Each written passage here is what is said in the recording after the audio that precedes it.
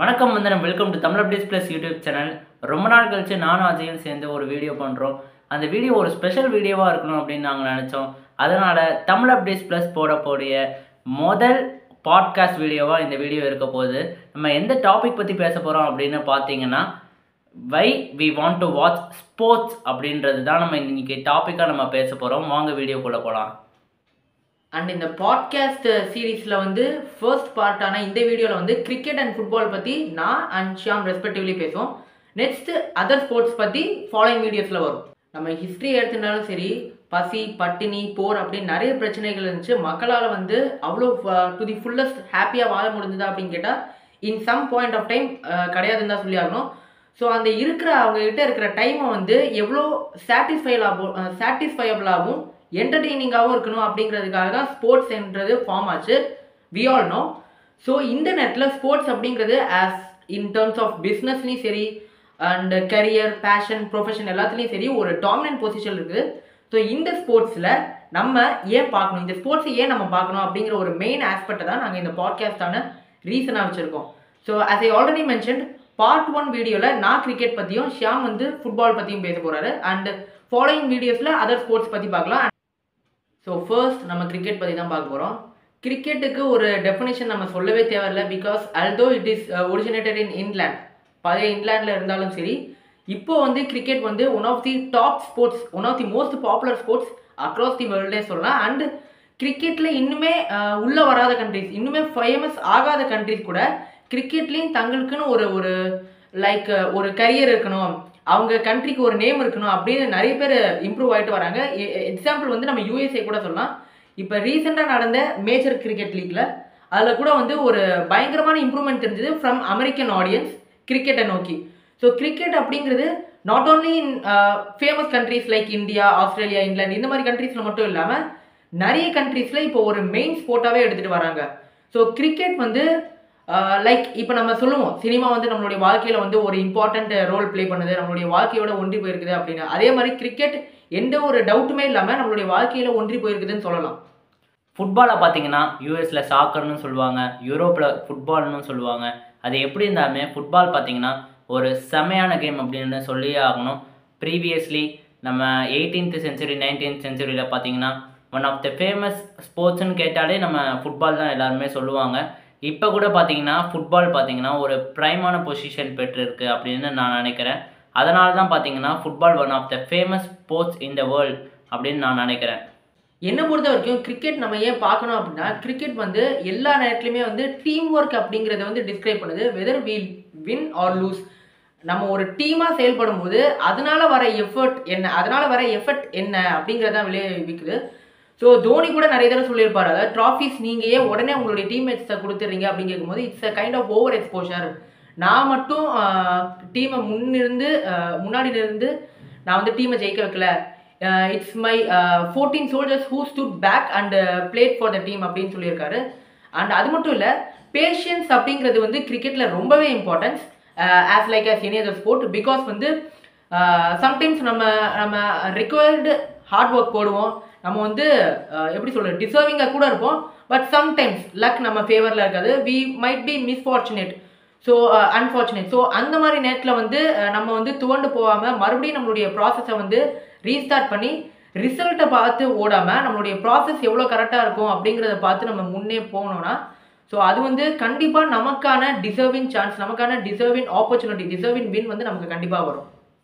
One of the famous ஸ்போர்ட்டாகவே இருந்துருக்கு இப்போ ஃபுட்பால் பற்றி தான் உலகம் முழுக்க பேசுகிறாங்க இப்போ ஃபுட்பாலை வச்சு நிறைய ஸ்போர்ட்ஸ் ஜேர்னலிஸ்ட் பார்த்தீங்கன்னா நிறைய சம்பாதிக்கிறாங்க. அதனால் ஃபுட்பால் பார்த்தீங்கன்னா ஒரு யங்ஸ்டரை மோட்டிவேட் பண்ணுது. அதாவது ஒரு கிறிஸ்டியானோ ரொனால்டோ ஒரு லயனல் மெஸ்ஸி ஒரு நெய்மா ஜூனியர் பார்த்தீங்கன்னா யங்ஸ்டர்ஸை மோட்டிவேட் பண்ணுறாங்க டு ப்ளே ஃபுட்பால் அதான் கிறிஸ்டியானோ ரொனால்டோவை இப்போ நம்ம ஃபாலோ பண்ணுறோம் அப்படின்னு வச்சுக்கோங்களேன். கிறிஸ்டியானோ ரொனால்டோ ஹேட்டர்ஸ் என்ன சொன்னாலும் பரவாயில்ல. நன்னோட வேலையில் நான் நல்லா பெர்ஃபார்ம் பண்ணோம் அப்படின்னு நினைக்கிறவர் தான் கிறிஸ்டியானோ ரொனால்டோ. ஹார்ட் ஒர்க்கை போடுறவர் கிறிஸ்டியானோ ரொனால்டோ. மியர் டேலண்ட் மட்டும் இருந்தால் போதாது. ஹார்ட் ஒர்க் இருந்தால் தான் ஒரு பிளேயர் சக்ஸஸ் அடைய முடியும் அப்படின்றதுக்கு கிறிஸ்டியானோ ரொனால்டோ ஒரு மிகப்பெரிய எக்ஸாம்பிள் நான் சுச்சுவேஷனும் nothing short of nearly destruction தான் சொல்லி ஆகணும் பிகாஸ் கிரிக்கெட்டில் நிறைய கண்ட்ரீஸில் நிறைய ஃப்ரான்ச்சைஸ் கிரிக்கெட் வருது. It's still a good thing அப்படின்னு சொல்லலாம். பிகாஸ் கிரிக்கெட் இன்னும் மிகப்பெரிய அளவில் கால் பதிக்காத கால் பதிக்காத இடத்துலையும் கிரிக்கெட் வந்து ஒரு மேஜர் ஃபுட் எடுத்து வைக்குது அப்படின்னு நம்ம சொல்லலாம். பட் நிறைய பிளேயர்ஸ் அங்கே ஆஃபர் பண்ணுற பிக் சம்முக்காக போகிறாங்க ஸோ இது வந்து அவங்களுடைய இன்டர்நேஷ்னல் கமிட்மெண்ட்டை பிரேக் பண்ணிவிட்டு ஒரு ஃப்ரான்ச்சைஸ் கிரிக்கெட்காக மியர் ஃபார் அ சேலரிக்காக வந்து அங்கே போக வேண்டியதாக இருக்குது it would be harsh but to be honest அதுதான் நடக்குது. ஸோ கிரிக்கெட் வந்து நிறைய பிளேயர்ஸை இன்டர்நேஷ்னல் கமிட்மெண்ட்டில் இறக்குதா அப்படின்னு கேட்டால் கண்டிப்பாக இருக்குது பிகாஸ் இப்போ நிறைய பிளேயர்ஸ் நம்ம பார்த்துருக்கோம். Alex Hales Jason Roy Jason Roy. Alex Hales Trent Boult. முக்கியமான ஒரு பிளேயர் நிறைய பேர் வந்து அவங்களுடைய சென்ட்ரல் கான்ட்ராக்ட்லேருந்து எங்களை ரிலீஸ் பண்ணுங்க. நாங்கள் franchise cricket விளையாடுறோம். Whenever country needs as very importantly நாங்கள் வரோம் அப்படின்னு சொல்லிட்டு போகிறாங்க ஸோ இது வந்து ஒன் ஆஃப் தி டேஞ்சர் சைனாகவே நான் பர்சனலி பார்க்குறேன். அல்தோ கிரிக்கெட் வந்து ஒரு மேஜர் ஃபுட்டை வந்து வைக்க ஆரம்பிச்சிருக்கு நிறைய கண்ட்ரீஸில் அண்ட் நிறைய செலிப்ரிட்டிஸ் லைக் அதர் ஸ்போர்ட்ஸ் பர்சன்ஸாக இருக்கட்டும் அண்ட் பாப்புலர் ஆக்டர்ஸ் ஆக்ட்ரஸாக இருக்கணும் இந்த மாதிரி ஐசிசி டோர்னமெண்ட்ஸை வந்து ஒரு மாதிரி ரெப்ரசன்ட் பண்ணி அவங்களுடைய சார்பில் ரெப்ரசன்ட் பண்ணுறதுனால வேர்ல்டு வைடு அட்டென்ஷனும் கிடைக்குது. So cricket is still having a big audience ஃபுட்பாலோட current situation தான் பார்க்க போகிறோம் ஃபுட்பால் ப பிளேயர்ஸ்லாம் பார்த்தீங்கன்னா சவுதி ப்ரோ லீக்கு போக ஆரம்பிச்சிருக்காங்க. எக்ஸாம்பிளுக்கு first Cristiano Ronaldo the great Cristiano Ronaldo பார்த்தீங்கன்னா அல்நாசர் டீமுக்கு போனார். அதுக்கப்புறம் நிறைய ஸ்டார் பிளேயர்ஸ்லாம் பார்த்தீங்கன்னா இபிஎல்லேருந்து சவுதி ப்ரோ லீக் போக ஆரம்பிச்சிருக்காங்க. இப்போ கூட பார்த்தீங்கன்னா நெய்மார் ஜூனியர் பார்த்தீங்கன்னா அல்ஹிலால் கிளப்பை பார்த்தீங்கன்னா ஜாயின் பண்ணியிருக்காரு. ரூபன் நெவஸ் மாதிரியான ஒரு நல்ல பிளேயர் பார்த்தீங்கன்னா அல்ஹிலால் கிளப்பை ஜாயின் பண்ணியிருக்காரு. லெபாட்ரே இது மாதிரி நிறைய பிளேயர்ஸ் பார்த்தீங்கன்னா இப்போ சவுதி ப்ரோ லீக்கில் ஜாயின் பண்ணிட்டு இருக்காங்க இப்போ சவு சாடியோ மானே கூட ஒரு அருமையான ஒரு விங்கர் அவர் பார்த்தீங்கன்னா இப்போ பயன் முனிச்சிலேருந்து வேணாம் அப்படின்னு சொல்லிட்டு அல்நசர் கிளப்பை ஜாயின் பண்ணியிருக்காரு. அந்த மாதிரியான சுச்சுவேஷன் தான் இப்போ பார்த்தீங்கன்னா சவுதி ப்ரோ லீக்கில் இருக்கு அண்ட் கரண்ட் ஃபுட்பால் பார்த்தீங்கன்னா அழிஞ்சின்னு இருக்கு அப்படின்னு நாங்கள் நினைக்கிறோம். ஏன்னு பார்த்தீங்கன்னா நிறைய யங்ஸ்டர்ஸ் கூட சவுதி ப்ரோ ஆட போகிறாங்க ஏன்னா நிறைய காசு தராங்க அப்படின்னு சொல்லிட்டு முன்னாடி யூரோப்பில் பார்த்தீங்கன்னா ஒரு அருமையான ஒரு பிராண்ட் ஆஃப் ஃபுட்பால் இருந்தது. யூரோப்னா பார்த்தீங்கன்னா எல் கிளாசிக்கோ அதாவது famous Real Madrid versus Barcelona FC பார்த்தீங்கன்னா ஒரு செமையான ஒரு கிளாஷாகவே இருந்தது. அப்புறம் இபிஎல்ல பார்த்தீங்கன்னா Manchester United versus Manchester City போன்ற நிறைய டார்பிஸ் இருந்தது. நிறைய ஸ்டார் பிளேயர்ஸ்லாம் பார்த்தீங்கன்னா யூரோப்பில் தான் விளையாடிருந்தாங்க யூஎஃப்ஆ சாம்பியன்ஸ் லீகே பார்த்தீங்கன்னா ஒரு கலையோடு இருக்கும். இப்போ பார்த்தீங்கன்னா மிம்பாப்பே இருந்தாலும் ஹாலாண்ட் இருந்தாலும் பார்த்தீங்கன்னா கிறிஸ்டியானோ ரொனால்டோ இல்லை மெஸ்ஸியும் எம்எல்எஸ் போயிட்டா எம்எல்எஸ் போயிட்டாரு. அதனால ரொம்ப வருத்தமாக இருக்குது இப்போ இருக்கிற கரண்ட் ஃபுட்பால் சுச்சுவேஷனை பார்க்கும்போது. இந்த ஜென்ரேஷனில் இருக்கிற ஆடியன்ஸ்க்கு என்ன ஒரு டவுட்னா என்ன ஒரு எப்படி சொல்கிறது ஒரு கான்ட்ரவர்ஷியலான டிபேட் அப்படின்னா கிரிக்கெட் பெஸ்ட்டா ஃபுட்பால் பெஸ்ட்டா அப்படிங்கிறது.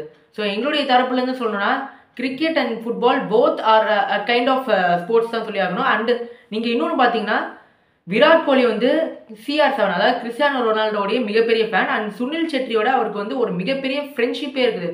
ஸோ ஒவ்வொரு துறையில் இருக்கிற ஸ்போர்ட்ஸ் பர்சன் வந்து அடுத்த துறையில் இருக்கிற அடுத்த ஸ்போர்ட்ஸில் இருக்கிற பர்சனாலிட்டியை வந்து அட்மையர் பண்ணுறாங்க அண்ட் அவங்கள வந்து ரொம்ப கார்டியலாக ரெஸ்பெக்ட் பண்ணுறாங்க பிகாஸ் எல்லாருமே அவங்களுடைய நேஷனுக்காக அவங்கள நம்புற டீமுக்காக அவங்கள நேசிக்கிற ஃபேன்ஸ்க்காக தான் விளையாடுறாங்க. ஸோ அதை வந்து எல்லா நேரத்துலையுமே ஞாபகம் வச்சுட்டு அவங்கள ஈச் ஈச் அதர் கார்டியலாக ரெஸ்பெக்ட் பண்ணுறாங்க ஸோ அதே மாதிரி நம்மளும் ஒவ்வொரு ஸ்போர்ட்ஸையும் அதே நேரத்தில் ஒவ்வொரு ஸ்போர்ட்ஸில் விளையாடுற அந்த பர்சனாலிட்டிஸையும் நம்ம வந்து ரெஸ்பெக்ட் பண்ணணும் அப்படிங்கிறத எங்களுடைய கருத்து. அண்ட் ஆஸ் ஆல்வேஸ் கிரிக்கெட்டாக இருக்கட்டும் ஸ்போர்ட்ஸ் ஃபுட்பாலாக இருக்கட்டும் ரெண்டுமே மக்களை என்டர்டெயின் பண்ணுது அண்ட் இன்ஸ்பயரும் பண்ணுது.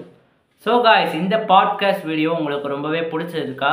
இந்த மாதிரி பாட்காஸ்ட் உங்களுக்கு வேணுமா வீக்லி அப்படின்றத கமெண்ட் பாக்ஸில் கமெண்ட் பண்ணுங்கள் இந்த வீடியோ பிடிச்சிருந்தா லைக் அண்ட் ஷேர் பண்ணுங்கள் and more importantly Tamil updates plus YouTube சேனலுக்கு சப்ஸ்கிரைப் பண்ணுங்கள்